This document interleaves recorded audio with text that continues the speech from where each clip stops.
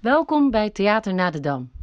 Op 4 mei, een uur na de Nationale Dodenherdenking, zouden in heel Nederland jongeren in het kader van Theater na de Dam theatervoorstellingen brengen.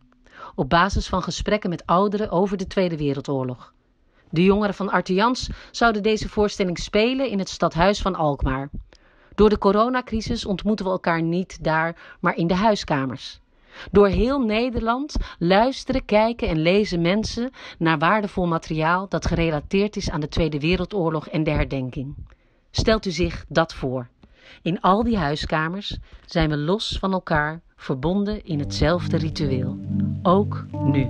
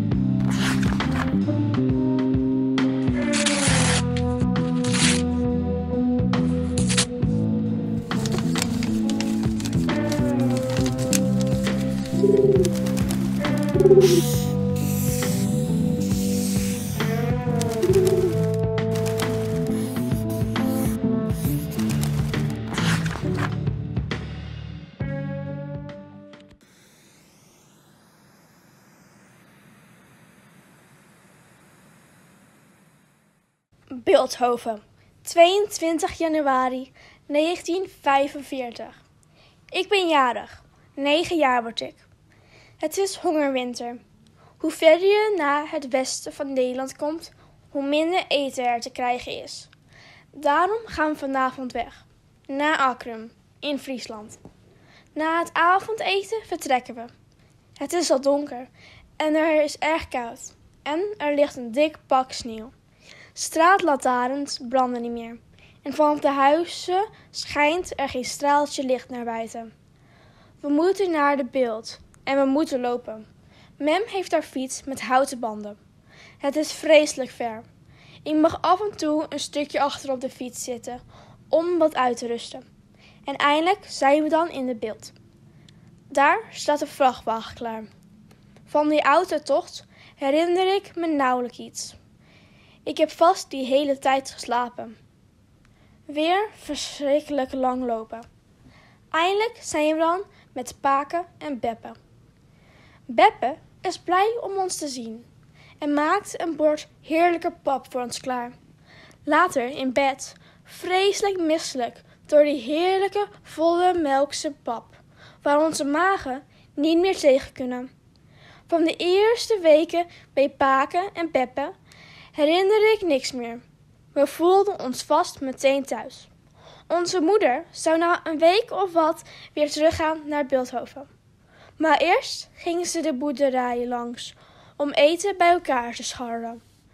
Die doet ze mee nemen naar huis.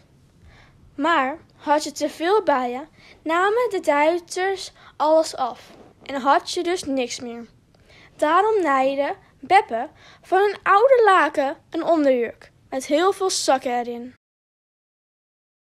Ik vind nu, 75 jaar later, vreemd dat ik niks, niks meer weet van het afscheid. En kregen we het bericht van een veilige aankomst? En hoe dan? We hadden geen telefoon. En deed de postbezorging het nog wel? We hadden het goed in Akrum. Goed eten, geen Duitse soldaten, geen bombardementen. We gingen weer naar school en speelden buiten. In april veranderde dat. De Canadezen waren op komst. Zouden er dan ook Duitsers komen? En zou er dan gevochten worden? En gebombardeerd? Beppe maakte een kelder klaar, zodat we daar, als het nodig was, schuilen. Maar dat was niet nodig. We waren bevrijd. Opeens was voor ons de oorlog over. Eind mei was mijn vader er plotseling. Hij kwam mij halen. Maar hoe was het nu met mijn moeder gegaan op die lange tocht terug, op die fiets met houten banden? Ik weet er niks van. Er werd nooit over gesproken. Pas toen ik al volwassen was, heb ik een keer proberen er met mijn moeder over te praten. Erg mededeelzaam was ze niet. Wilde ze er niet over spreken omdat ze dat moeilijk vond? Of vonden ze het zoveel jaren later niet meer de, moeite waard om erover te vertellen? In die tijd was mijn moeder blijkbaar in verwachting van haar vijfde kind, dat op de 7 augustus 1945 is geboren. Ze was dus al zwanger toen we in januari naar Friesland gingen. En dat zal die reizen niet gemakkelijker voor haar hebben gemaakt. Het verhaal nog, had nog langer gekund. Als je eenmaal gaat denken over zo'n periode, komen er steeds meer herinneringen boven. Maar ik laat het hierbij. Het is veel te veel. Bijka C. April 2020.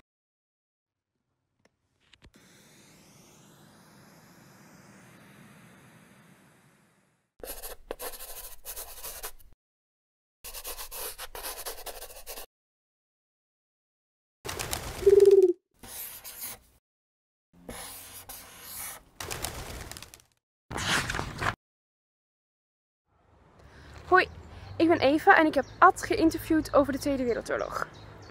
Ik ga twee verhalen vertellen die mij het meest waren bijgebleven.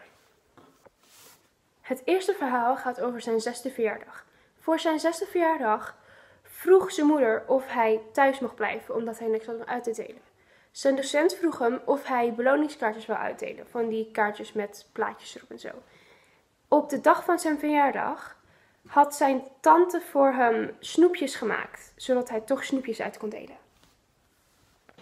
Ik koos dit verhaal omdat ik het een mooi verhaal vond en het raakte hem gewoon. Het tweede verhaal gaat over zijn vader. Zijn vader werkte bij de gevangenis, waar de gevangenen kleren moesten maken. Af en toe nam hij leer mee naar huis om daar tasjes van te maken, damestasjes, die hij weer verder inruilde voor andere levensmiddelen. En nog steeds heeft hij een van die tasjes op zijn zolder liggen.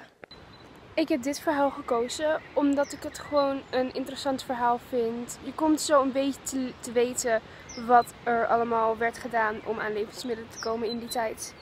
Ik vind dat we 4 en 5 mei moeten blijven herdenken, omdat we niet zomaar mogen vergeten wat er allemaal gebeurd is.